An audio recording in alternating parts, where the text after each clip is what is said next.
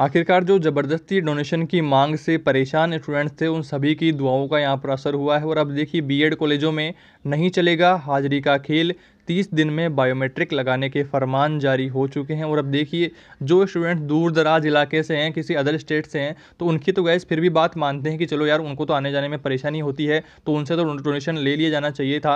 और जो डोनेशन की बात गैस है, थोड़ा सा नॉर्मलिटी में अगर हम ले लें तो दस बीस हज़ार चलता है बट फिर भी गैस अब जब किसी भी कॉलेज में आप जब देखेंगे तो मिनिमम गैस पच्चीस तीस हज़ार वो मांग करते हैं तो उसमें से आपको पता है कि एक रुपया भी कम नहीं करते हैं, कि इतने देने पड़ेंगे, नहीं तो इंटर्नशिप नहीं करवाएँगे या फिर एग्ज़ाम में फेल कर देंगे रिलीव लेटर नहीं देंगे। काफ़ी सारी मतलब कि अजीब अजीब परिस्थितियाँ वो उत्पन्न कर देते हैं कि स्टूडेंट्स को देना ही पड़ता है। तो अब उन सभी की दुआओं का यहाँ पर असर हो चुका है और तीस दिन में बी कॉलेजों में बायोमेट्रिक लगाने के फरमान जारी हो चुके हैं। और अब देखना ये है कि क्या सभी टीचिंग कोर्सेज़ में ये लगेगा?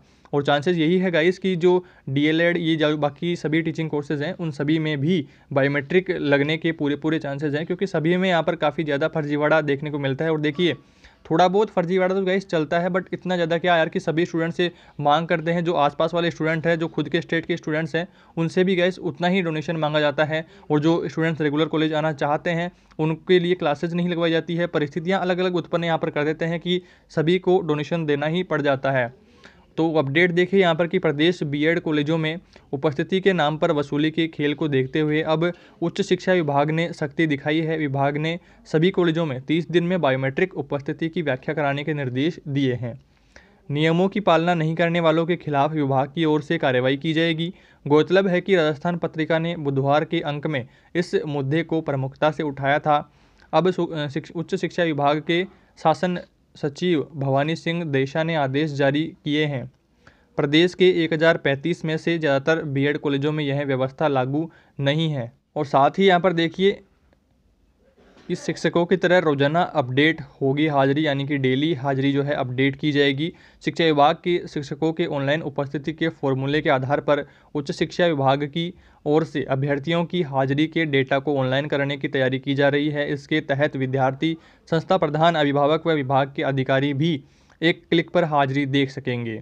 तो ये गाइस बहुत ही बढ़िया यहाँ पर अपडेट उन स्टूडेंट्स के लिए है, जो आसपास वाले स्टूडेंट्स हैं, उनको ज़बरदस्ती डोनेशन की मार यहाँ पर सहनी पड़ती है। और अब जो देखिए यहाँ पर ये अपडेट तो ठीक है गाइस की रेगुलेटरी यहाँ पर रहेगी और बच्चे जब डेली कॉलेज जाएँगे तो उनको बहुत कुछ सीखने को मिलेगा। बट कहीं ना कहीं ये अदर स्टेट वाले स्टूडेंट्स के साथ नाइंसाफ़ी है, क्योंकि उनको ज़बरदस्ती पहले ही अगर उनको खुद के ज़िले में यहाँ पर कॉलेज मिली होती तो वो डोनेशन देते ही नहीं और वो रेगुलर कॉलेज यहाँ पर करते।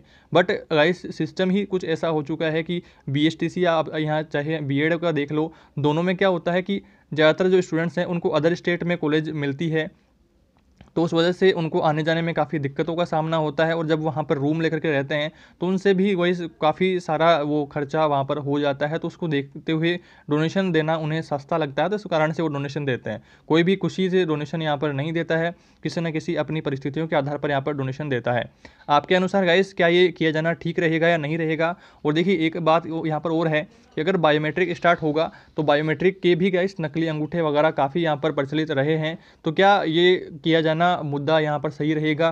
क्या ऐसा करने से डोनेशन रुक जाएगा या नहीं रुकेगा? या फिर और क्या क्या चेंजेस यहाँ पर होने चाहिए? गाइस कमेंट बॉक्स आप सभी के लिए खुला है। सभी अपने अपने विचारों को कमेंट में ज़रूर बताएँ। चलिए गाइस जल्दी मिलते हैं एक नई वीडियो में नई अपडेट के साथ।